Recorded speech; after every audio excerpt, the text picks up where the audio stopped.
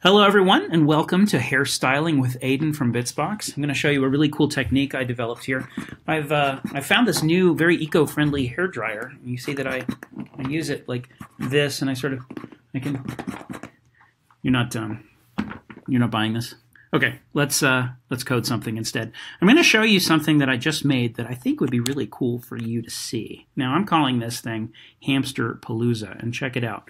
Whenever I tap the screen, a random assortment of eight animals flies out in like a little firework of uh, firework of animals, just like that. So sometimes it's hamsters, sometimes it's bugs, sometimes it's giraffes. I'm going to show you how to code this app. Let's do it now. I'm going to go back over here. Let's build a new app just like this. And I don't want to build a numbered app like I would if I was coding with Bitsbox materials. I'm going to go to invent my own app. And let's just call this thing go flying hamsters. And let's title it like this. Now, the first thing I like to do when I'm coding anything, really, is I just like to put something on the screen. I find that, uh, oh, wait, which hamster do I want? I'm to go up here. I'm to search my stamps for hamsters. Yes, this hamster 2. This guy right there, that's what I want. So let's go hamster 2, put another tick, and put that right there. All right, so I've got hamster on the screen, which I like. Uh, but tapping doesn't put it on the screen. I just put the command here, so he's already on there. What I need is a tap function so that the hamster only shows up when I tap the screen. So check it out. I'm just going to indent this guy in two spaces. Let's go back. Let's rerun my app. Now check it out. When I tap the screen, the hamster appears. And that's great, but that's not exactly what I want. So let's um, let's change something. Let's go in here.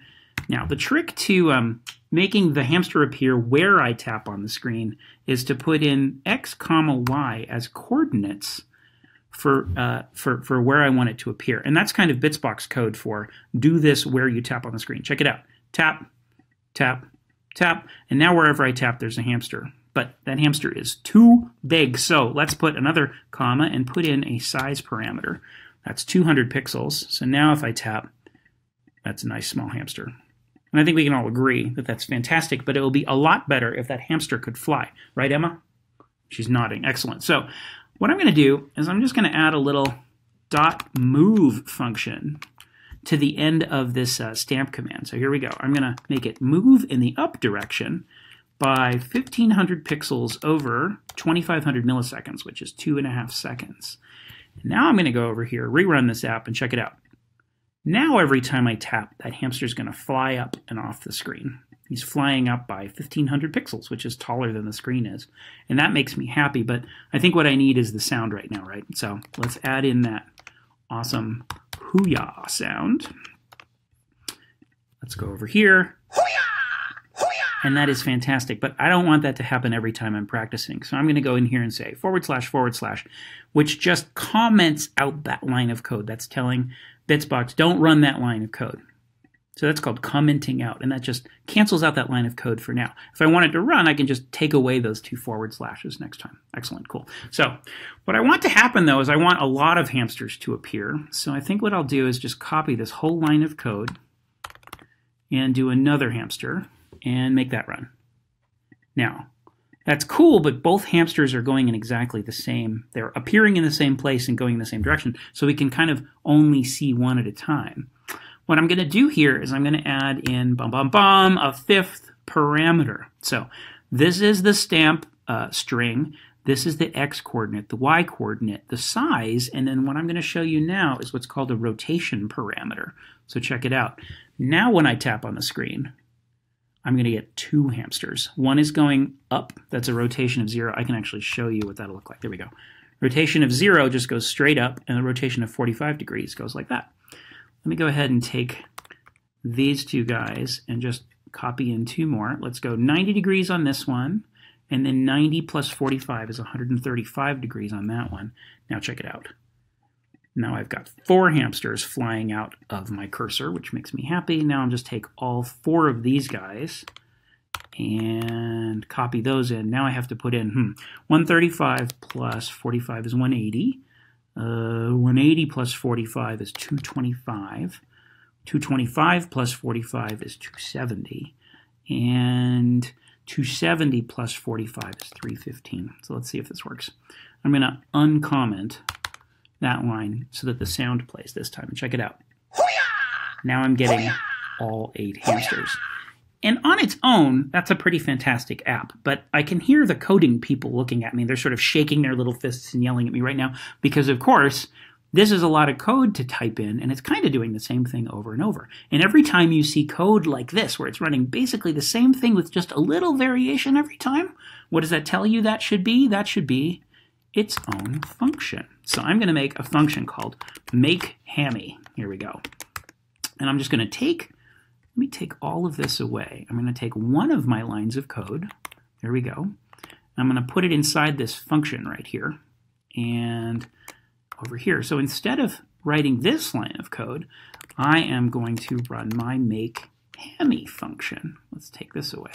Okay, so now what's happening is whenever I tap, it'll play the sound and it runs make hammy. Make hammy is down here, and make hammy says stamp this hamster just like that. So watch. Now we are back to one hamster.